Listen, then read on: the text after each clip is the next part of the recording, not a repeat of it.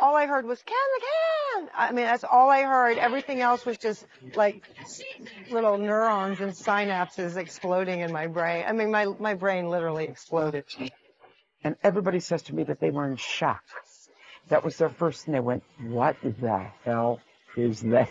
Wednesday, we're walking around a load of nobodies still, and um, we watched Top of the Pops in our little black and white telly, Suzi me and in our little uh, flat. Of course, it came out and went bloody ape shit.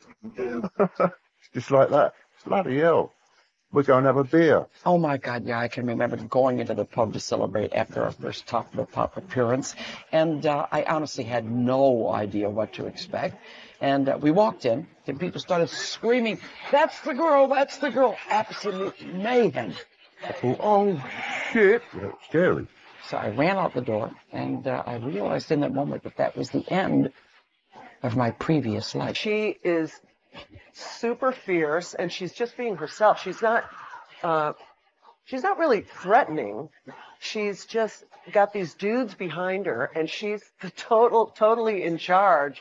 And she's this firecracker who is just throwing down with the talent and the the energy and the youthfulness, and um, it's incredibly empowering. I think. And Suzi's tiny. She's a tiny little thing, you know? It's like, wow, all that thunder coming out of this little girl. And there's the fact that it's I've never seen a woman with an instrument in a band. It's never ever occurred to me that that could happen, that that could be.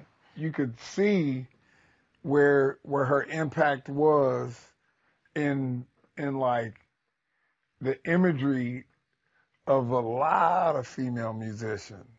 And there have been so many female musicians that have followed Suzi Quatro. So she was very much out on her own as a female singing and playing an instrument and fronting a band. And there weren't many. I don't. I don't know if there were any when she came out. the basic uh, sort of rock and roll, roots rock music that Suzi Quatro was doing kind of had a big part in informing what to come, what came after, which was kind of you know punk rock. She wore the jumpsuit. She wore leather.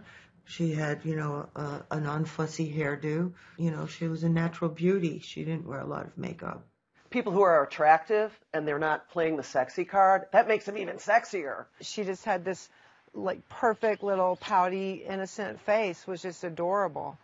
Maybe girls were trained to not aspire to those things, to say like, I can't do that.